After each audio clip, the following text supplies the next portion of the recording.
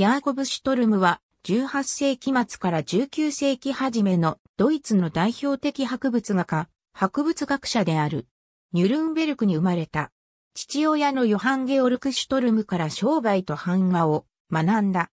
16歳の時、博物学者のヨハン・クリスチアン・フォン、シュレーバーや昆虫学者のパンツァーと知り合うことにより、博物学、最初昆虫を専門とし、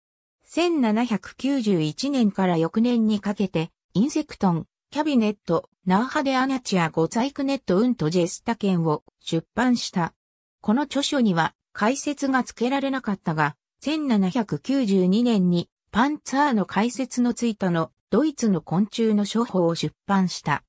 動物を描いたものとしては、ドイツの野生動物図鑑、解説譜があり500の図版を描き、植物を描いたものにドイツの野生植物図鑑、解説譜があり、2472の図版が付けられた。この画集に基づいて、ドイツ博物学教師クラブが有名な、ジェイシュトルムのドイツの植物シリーズを出版した。自然科学への功績が認められて、ブレスラウ大学、1801年にニュルンベルク博物学会の設立者の一人となった。1846年からドイツ自然科学アカデミー・レオポルディーナの会員であった。シュトルムの晩年は二人の息子、クリスティアン・フリードリヒ・シュトルムとヨハン・ビルヘルム・シュトルムが作画を手伝い、その後それぞれ鳥類学者、昆虫学者、博物画家として働いた。シュトルムは植物の学名で命名者を示す場合に、ヤーコブ・シュトルムを示すのに使われる。